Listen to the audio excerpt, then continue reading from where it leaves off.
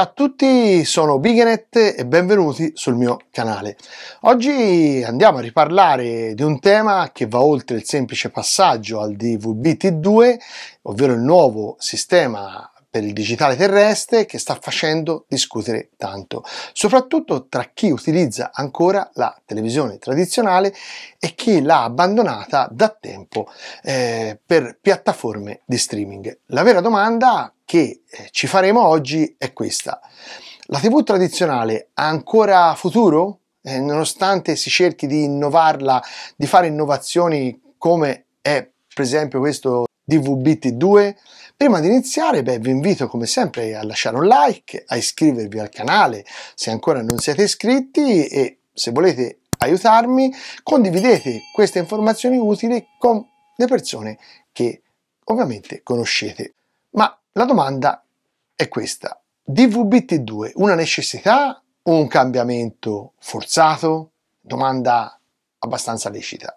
Abbiamo già parlato del passaggio al DVB-T2 nei miei video precedenti e come questa transazione abbia poi portato a problemi eh, diciamo tecnici ovviamente televisori da aggiornare decoder da comprare e canali che vanno a scomparire tuttavia c'è un dibattito molto ampio che sta emergendo. Molti si stanno chiedendo se questo cambiamento sia davvero un cambiamento necessario, considerando che eh, la TV tradizionale viene sempre meno utilizzata e è sufficiente che andate a leggere i commenti dei miei video eh, che ho fatto sul DVB-T2 e questo emerge eh, palesemente. In Italia stiamo assistendo ad un calo drastico nell'uso della televisione lineare le nuove generazioni preferiscono guardare contenuti on demand su piattaforme come Netflix, Prime Video, Disney Plus, Paramount Plus e non solo i giovani. Anche molte persone più adulte iniziano ad abituarsi a queste piattaforme e abbandonano un po' la TV tradizionale. Diciamo che mh, questi nuovi sistemi stanno decisamente prendendo molto ampio rispetto alla vecchia televisione. Ma cosa succede a chi rimane fedele appunto alla vecchia televisione? Beh, diciamo che eh, se facciamo un confronto tra TV tradizionale e servizi, esempio di streaming, beh, le piattaforme on demand offrono sicuramente dei contenuti che possono essere innanzitutto visualizzati in qualsiasi momento, senza essere vincolati a orari di programmazione, per esempio.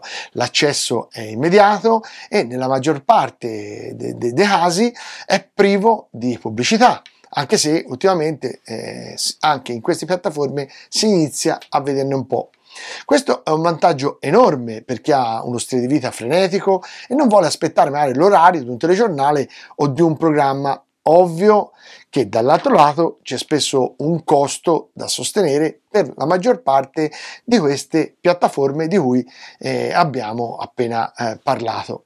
Dall'altra parte però eh, la TV eh, lineare eh, conserva un suo fascino particolare, specialmente per quanto riguarda esempio le informazioni in tempo reale delle, dei telegiornali, gli eventi live come le partite di calcio, gli spettacoli, che ne so, i festival o altri grandi eventi. C'è un senso di comunità nel guardare appunto qualcosa in contemporanea con milioni di altre persone. Eventi, eh, che ne so, come il Festival di Sanremo, anche se a tanti non piacerà, ma eh, ha, ha, ottenuto ascolti record, oppure la partita della nazionale di calcio, che anche se ultimamente non, non brilla così tanto, ma creano momenti di unione che lo streaming, per quanto pratico, non può replicare in questi, appunto, rispetto a questi canali in chiaro della TV eh, che eh, prevedono non un costo per il servizio o per il singolo intrattenimento, ma ahimè l'altra nota dolente eh, molto discussa è il famoso pagamento del canone RAI che in tantissimi non digeriscono e in tantissimi polemizzano perché non hanno la televisione e dicono non devo pagare il canone tema molto dibattuto e non è questa la sede, magari se ne potrà parlare nel canale eh, in futuro, ma Oggi non è questo il tema, però era giusto dirlo.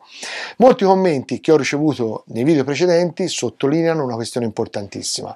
Non è solo la tecnologia che sta cambiando, ma anche i contenuti offerti dalla televisione che stanno cambiando. E questa potrebbe essere una vera ragione per cui stanno, eh, diciamo, abbandonando proprio questo mezzo. La TV tradizionale è spesso criticata per la scarsa qualità dei programmi che negli ultimi anni sta offrendo. Io ve lo sto dicendo perché mh, mm, non sono invenzioni mie, se andate nei miei video che abbiamo fatto sul DVB-T2, beh, i commenti sotto parlano chiaro.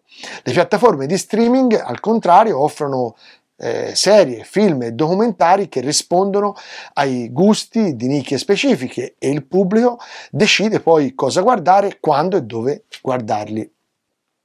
Tutto questo non significa che la TV tradizionale non possa innovarsi, sia chiaro, e il passaggio al DVB T2 beh, ehm, sta aprendo nuove opportunità per trasmettere contenuti in maggiore definizione, in alta definizione e sfruttare eh, al meglio la rete 5G che sta eh, lentamente emergendo in Italia. Tuttavia bisogna fare un passo indietro e capire se la sola qualità dell'immagine beh, può salvare un settore abbastanza in difficoltà per quello che si vede, oppure se servono anche contenuti nuovi e interessanti per far sì che ritorni decisamente in auge. E dunque il passaggio al DVB-T2 è una tappa intermedia e, e poi di fatto il futuro della televisione passa da qui oppure no? Beh, il passaggio al DVB-T2 è stato presentato un necessario aggiornamento tecnologico per andare a migliorare quella che è la qualità del segnale e, e diciamocelo chiaro,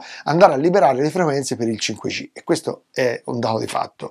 Ma per molti è solo una tappa intermedia. Forse in futuro vedremo una fusione tra la televisione tradizionale e il mondo dell'internet streaming, creando diciamo una sorta di televisione on demand accessibile direttamente tramite un digitale terrestre. Chissà, potrebbe essere una porta da aprire per il futuro. Ma allora cosa possiamo aspettarci nei prossimi anni.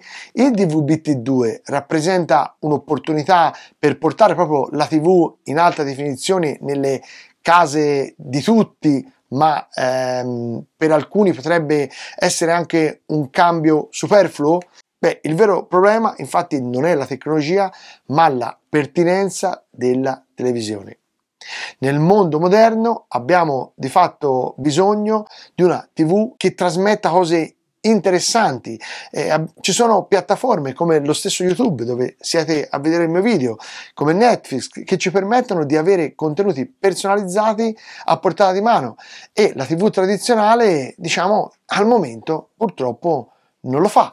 E, e dunque la televisione tradizionale è destinata comunque a scomparire nonostante questi aggiornamenti che si sta facendo per migliorare l'alta definizione? Beh, una delle grandi domande che ci poniamo è proprio se, eh, se abbia ancora futuro. Negli ultimi anni molte persone hanno deciso di abbandonare completamente la TV.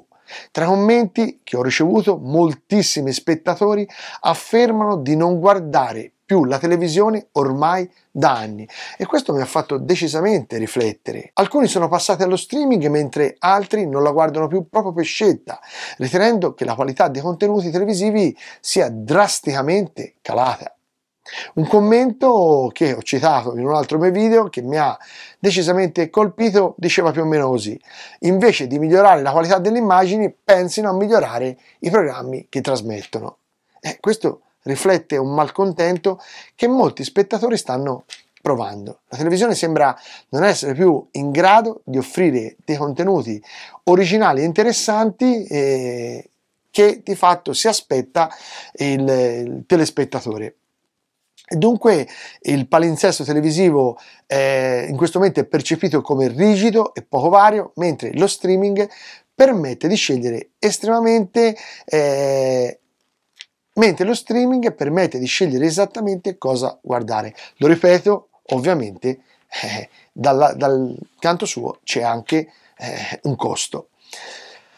E dunque, in conclusione, il passaggio al DVB-T2 segna sicuramente un miglioramento del, a livello tecnologico del digitale eh, per la televisione, ma non risolve il vero problema anzi lo va a creare perché le polemiche di televisione non funzionano più, adeguamenti di vecchi tv, acquisti di decoder, beh, ehm, di fatto eh, non risolve, ma il vero problema è la rilevanza della televisione tradizionale. La domanda fondamentale rimane questa, il pubblico ha ancora bisogno della TV lineare o il futuro dell'intrattenimento di fatto sarà completamente dominato ne, ne, negli anni a venire dallo streaming? Beh, questo dibattito è molto complesso, di quanto, molto più complesso no? di quanto non sembri e io sono curioso di sapere cosa voi ne pensate, se la TV tradizionale ha per voi ancora un futuro, ma Mm, ho visto nei commenti che in tanti